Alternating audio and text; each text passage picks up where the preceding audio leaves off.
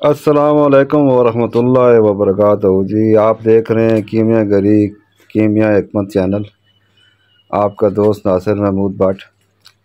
और हमारे पास आज जो कीमिया घर सन्यासी हकीम, हमारे बुज़ुर्ग, हमारे दोस्त, हमारे उस्ताद आज तशरीफ़ लाए जनाब सागर इकबाल साहब। आज वो फिर मुलाकात हुई है और बहुत बड़ा तोहफ़ा आज देने वाले हैं। तो नुस्खा शुरू करते हैं, उसके बाद जो भी कमी पेशी होगी, वो मैं साथ बाद में भी बता दूँगा। तो जी, सागर साहब, नुस्खा शुरू करें। बिस्मिल्लाहिर्रहमानिर्रहीम दोस्तों तो नुस्खा बहुत आसान है, लेकिन थोड़ा मेहनत तलब है। सवा दो किलो शीशा नमक लेना है, उसे बारीक करके छलनी से छान लेना है।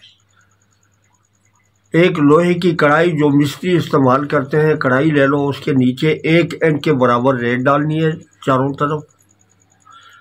नमक को पानी के छटे लगाकर गोला बनाना है। उसमें मैंने तो पाँच चीज़ें तैयार की हैं।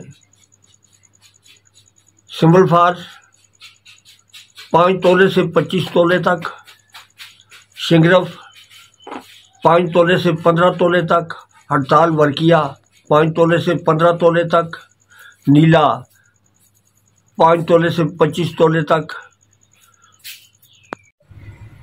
जी, बात हो रही थी कि पाँच तोले से पच्चीस तोले तक मेंसल ये रख कर इसे बकिया नमक इस पर डाल के इसके ऊपर रेत डाल देनी है।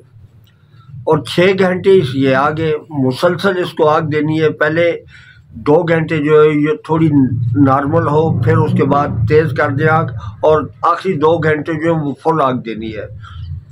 जब ये आग मुकम्मल हो जाए, इसे उतार के वहीं पड़ा रहने दे, फिर आग नहीं जलानी।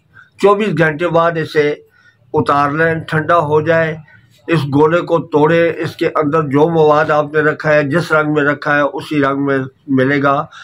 ये संड होगा अला दर्जे का संड। जिसने इसकी संड खोल ली इन वो समुद्र पार हो जाएगा।